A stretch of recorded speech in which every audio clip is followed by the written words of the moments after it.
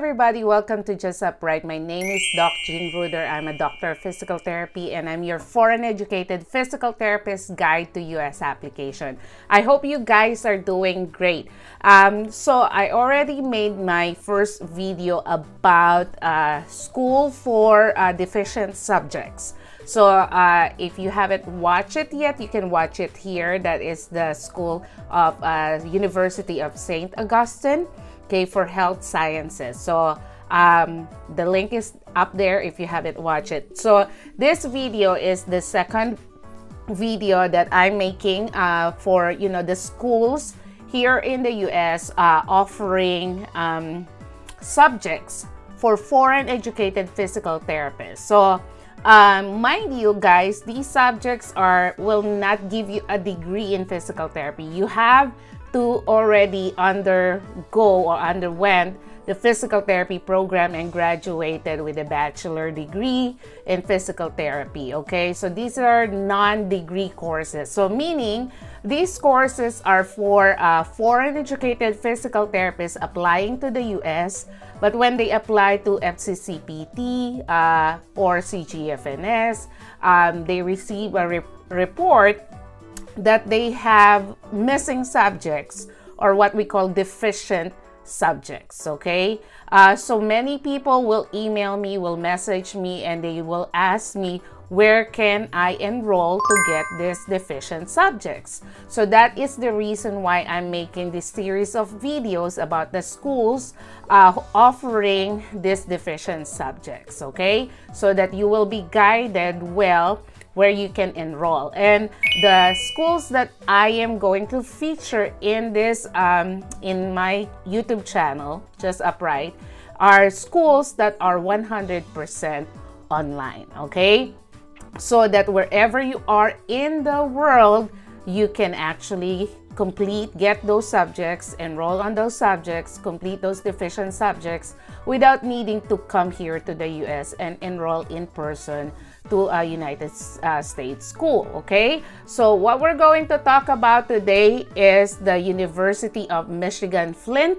Uh, we're going to their website. We're going to see what are the subjects that they are offering and if any of those subjects are one of your one or more of your deficient subjects. Okay? Coming right up, guys.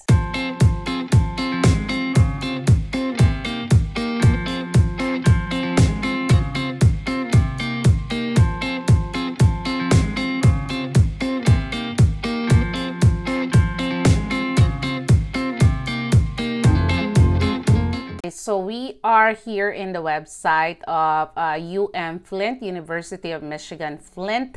Okay, um, you know, slash graduate program slash PT dash bridge, you know, slash. So I will put the link on the description below so you can access it yourself for your own convenience. Okay, so uh, prepare foreign PTs for US credentialing. So that is the main goal. Okay.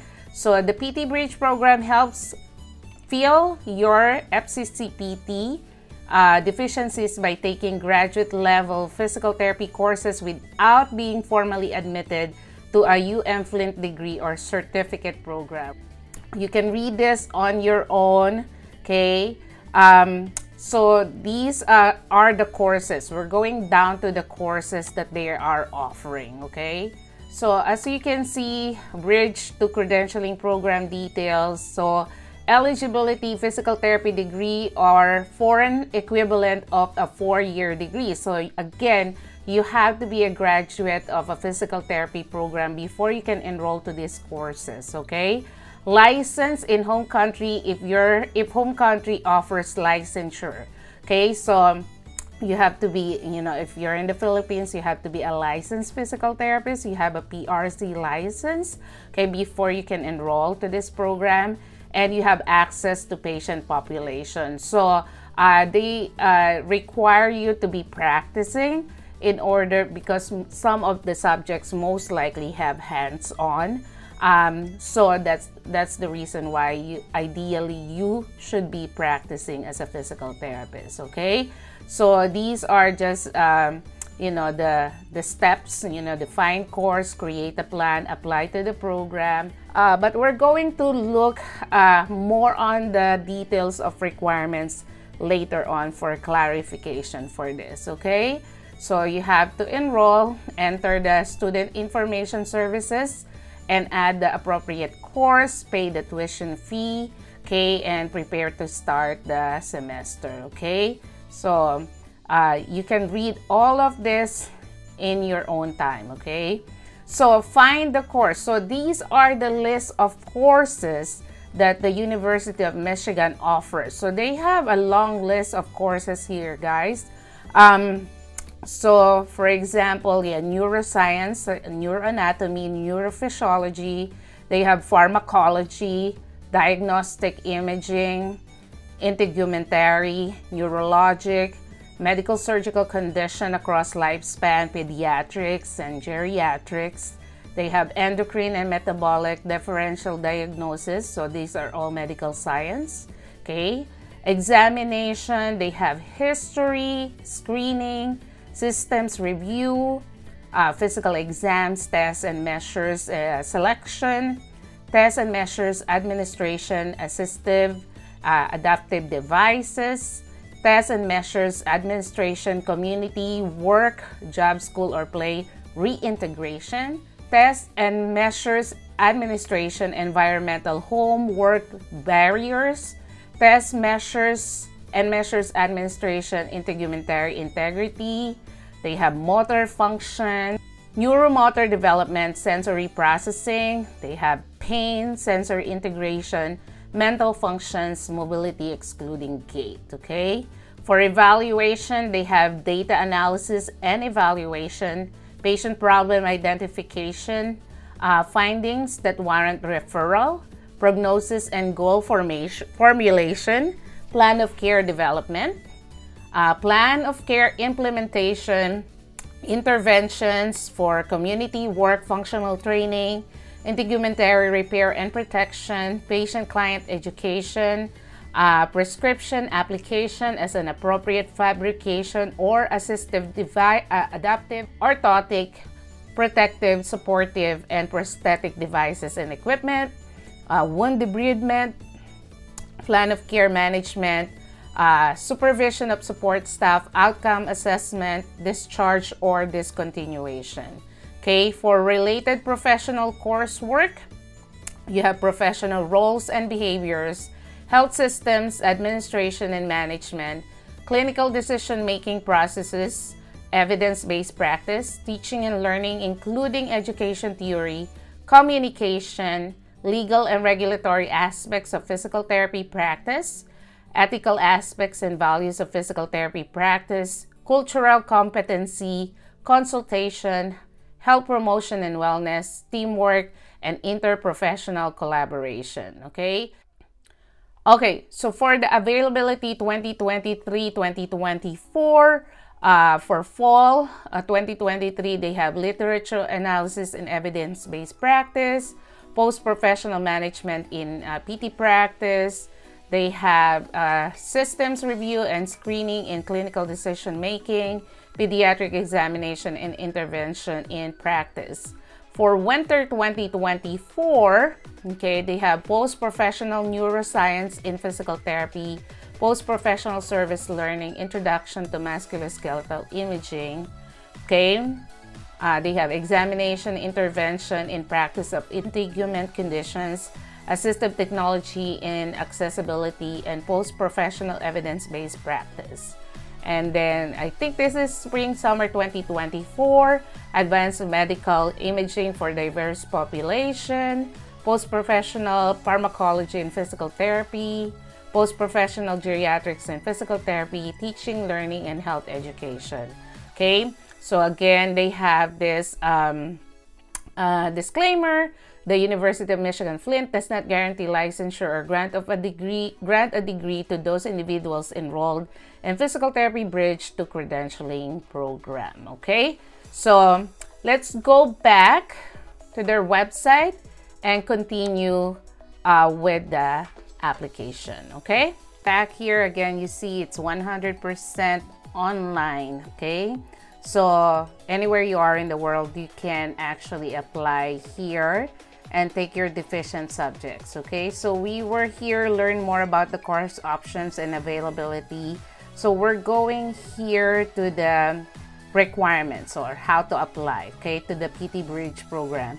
So you have to fill out the application for physical therapy bridge to US credentialing program.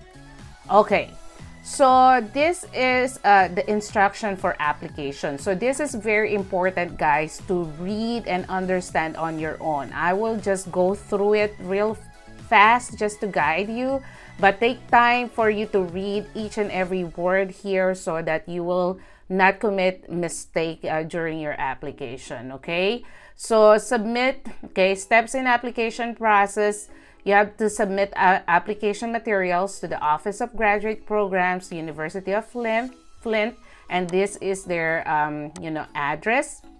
Application for physical therapy bridge to us credentialing program can be emailed okay? So you don't have to really send it through mail. They can you can email here at graduate at umflint.edu or fax you know to this number okay so one of the following okay so this can be confusing because on their main website um, you have to submit a copy of fccpt okay coursework tool number six so uh, if you do not have that yet, well, ideally you should have like a form of credentialing through FCCPT that you know what are the specific deficient subjects that you have. So if you have that, then you can submit it. So, or a transcript with physical therapy degree posted. Okay. Um, so if the degree is not posted on the transcript, a copy of certificate of graduation or diploma indicating conferral of the degree and the date it was conferred is also required, or again, a copy of FCCPT report of evaluation of education credentials, okay? Now, they also require a test of English as foreign language, okay? Uh, don't get IELTS because we don't really, you cannot use IELTS for US application. So you use uh, TOEFL IBT, okay?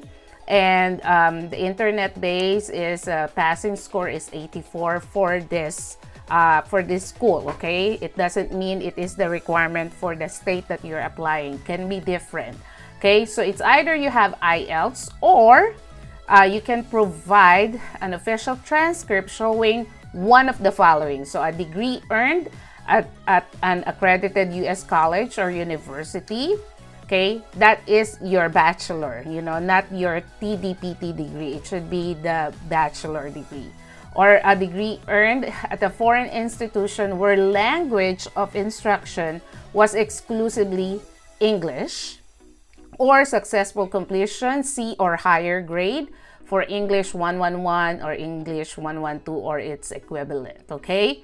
So for like i know in my case it was easy the easiest one is to get a certification from the school uh, stating that the mode of education was taught in english okay? So that's what i will do if i don't have toefl. But if you have toefl and you have at least 84 you can use that okay so there are other instructions here that you have to read uh, let's go down here for application for physical therapy bridge US credentialing program. This is the application form. Okay, as you can see, guys, you know, you can email this. They have the website here, they have the phone number, okay, and their address. So, um, if you have a University of Michigan ID, you can put it there. If you don't have social security number, it's not a problem. Okay, it's optional. Okay.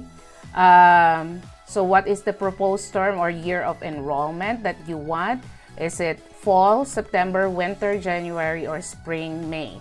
Okay, and then you have to put your last name, your first name, your middle name if you have any, gender, male or female, what is your preferred first name, okay? Uh, previous names you used on prior academic records. So that's why they want your maiden name because if you're married right now, it's different.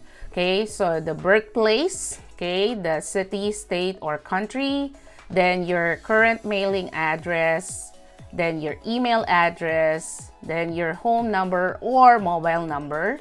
Okay, so that that is just a continuation of your mailing address. Okay, if you have a permanent mailing address, if it is different from your current mailing address, you can put that. Uh, citizenship, most of you may not be a US citizen. You can put yet here, okay, non-US citizen, check that and then you put the country of your citizenship, okay? What is your native language if not English? Put it there. So these are just questions whether you're Hispanic or Latino, yes or no.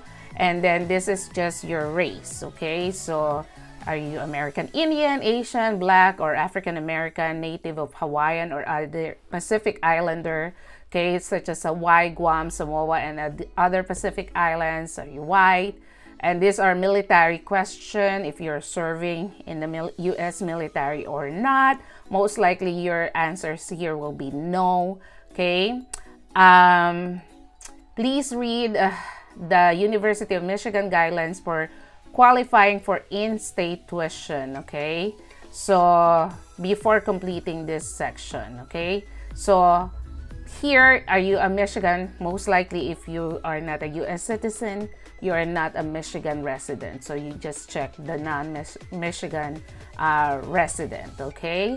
So for education background, you just list uh, the name of your school here, where is it located, when did you attend it, like from 1995 to year 2000, okay? What is the degree, okay? Is it BSPT? And what is the degree date? When did you graduate?